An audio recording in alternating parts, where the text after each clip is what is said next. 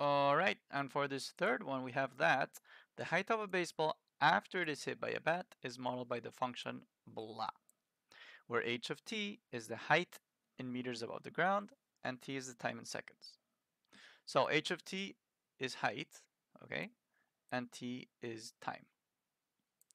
And here we have our units. I'm going to put them in red. We have meters, we have seconds. All right, so for part A, we need to write down the height of the ball above the ground at the instant it is hit by the bat. So take a second and think about it. So first things first, we have our function. See, our function is h of t equals negative 4.8 t squared plus 21t plus 1.2. So a couple of things, a couple of common misconceptions. First of all, h of t, which is practi practically the same as f of x, is the same as y. Okay, so if for you it's easier to think of this as y equals, then by all means do so. This is y, this is technically x, and this is also technically x. All right, so that's the first thing. If you'd rather think about it that way, go ahead. All right, I'm just going to do it the original way because, you know, whatever, I'll be consistent. But just to clear up some doubts that people might have, that's the first thing I'm going to say. The second thing I'm going to say is that context matters for these kind of questions. So if we need to write down the height of the ball above the ground at the instant it is hit by the bat, you need to think, when is it hit by the bat? When is it hit by the bat? Well, t is time, right? And t is time in seconds after the ball was hit. After the ball was hit. So in zero seconds, the ball is getting hit. In zero seconds, the ball is getting hit. In zero seconds, the ball is getting hit. So we plug in zero for t. We have 4.8 um, parentheses 0 squared plus 21 parent, uh, parentheses 0 plus 1.2. We do all of this in our calculator, you end up with t equals 1.2. Why does this happen? Well, negative 4.8 times 0 goes away to 0. Anything times 0 is 0. 21 times 0 goes away to 0. We end up with just this guy. See, so t is 1.2.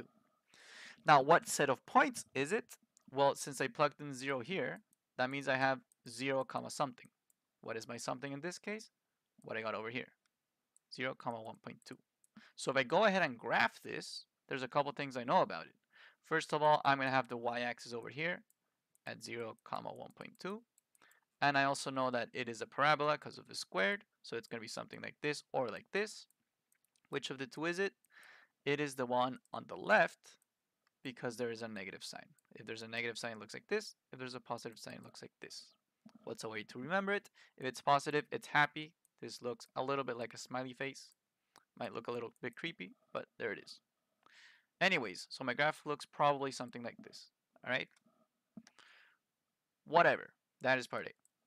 Part B. Find the value of t when the ball hits the ground. So, when it hits the ground, Am I talking about my y or my x? In this context, I would be talking about my y. Why would it be my y? Why would it be my y? Because y is height. Okay, so when the ball hits the ground, uh, ground is going to be a sort of height, and the ground will be height of 0. So how do I express height of 0? I express height of 0 by saying y equals 0. How do I say y equals 0 in this context? By making this equal to 0. So I make h of t equal to 0. Notice that there's a difference between h of t being equal to 0 and h of 0 being equal to something, okay? In the first case, you are making your y equals 0. In the second case, you're making your x equals 0. All right, so really let that sink in, okay? That is very important. Anyways, in this scenario, we're doing the case on top. So my y is going to be 0. See? So I'm going to take my trusty rusty, you know, formula thing imaging over here. I'm just going to make some space. Give me a second. Okie dokie. So again, we're making y equal to 0. Why are we making y equal to 0? Because we're analyzing when the ball hits the ground. See? Right, y is height, that's why I work it that way. So all of this has to be equal to 0. See?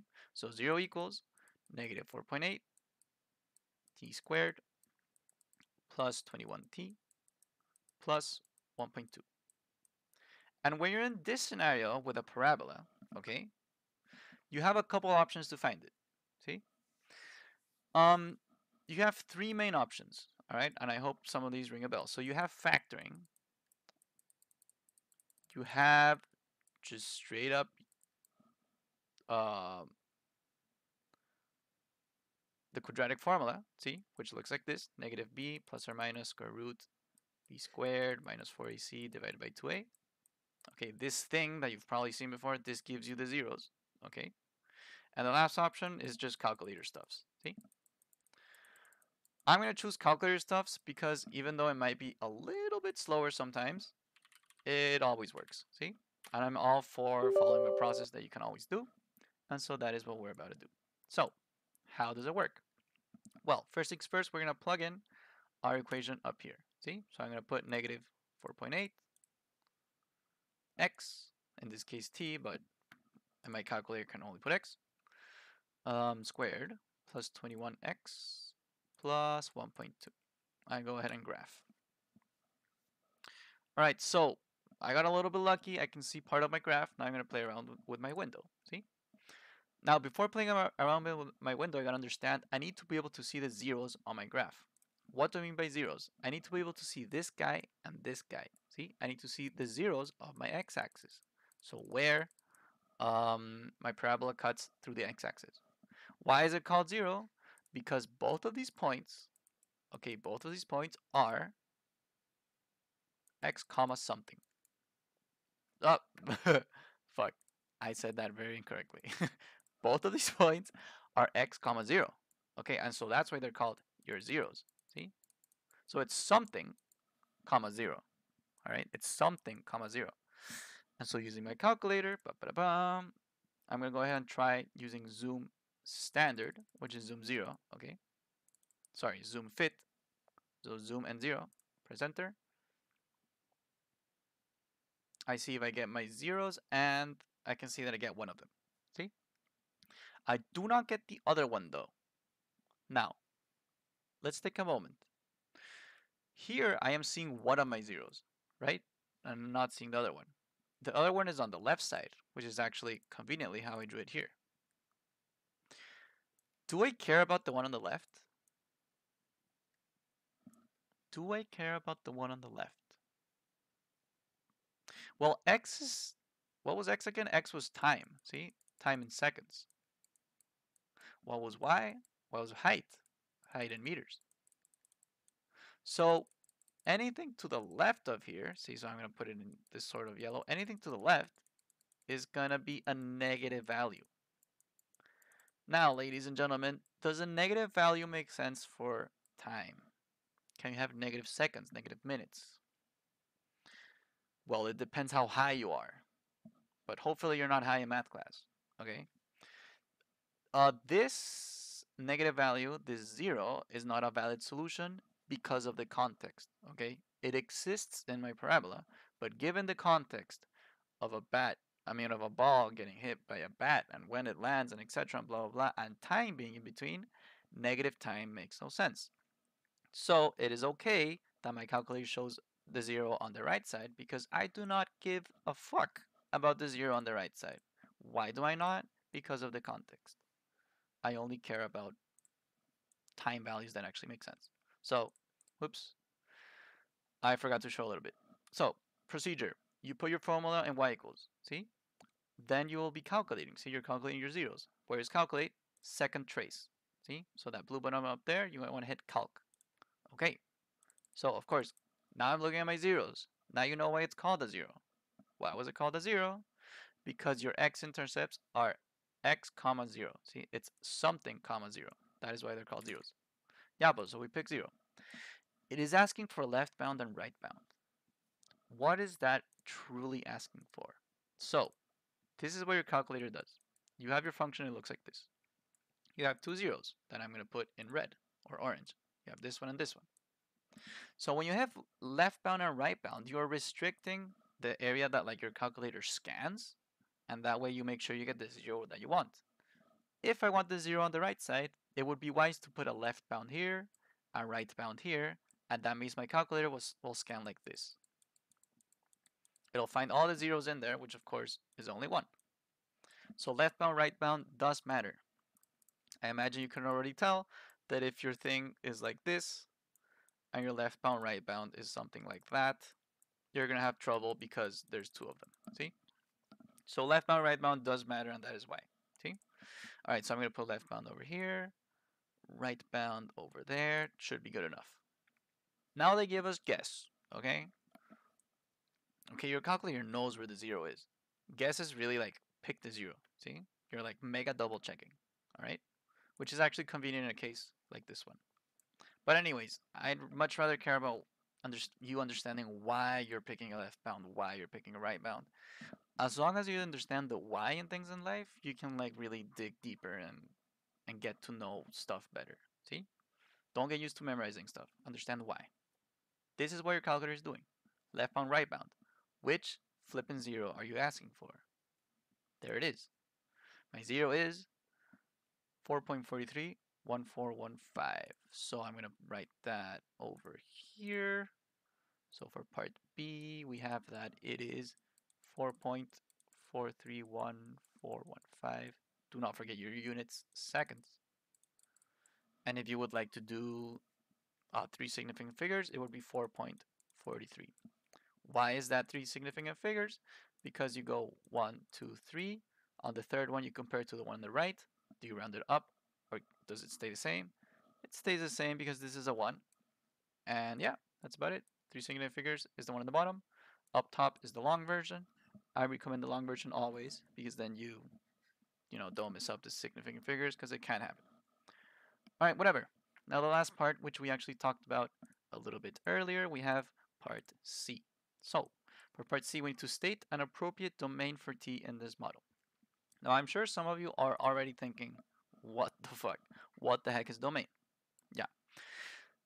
Intuitively, I'm not gonna, there's more space up here, so I'll do it up here. Intuitively, when we talk about domain, it's going to be your x values. When we talk about range, okay, that will be your y values. And so part C is asking for state an appropriate domain for t in this model. So it says for t, which is like a hint like, hey, it's about your x values, see? So for t. Um, I actually touched touched upon this earlier, right? So if I have time for my x, cierto, for my domain, all right? For my x-axis and my y-axis is height, it makes sense that my domain has to be positive. See, I cannot have negative time. I can only have positive time. So initially, I would say, well, time has to be from 0 to infinity. That would be my first initial thought. However, and this is where the IB gets a little tricky, okay? However, if you go from 0 to infinity, how does my model look like? Well, my model would go from, and when we talk about model, we're talking about like basically just your your function, okay? Your function given the domain you're, you know, choosing. so my function would look something like this.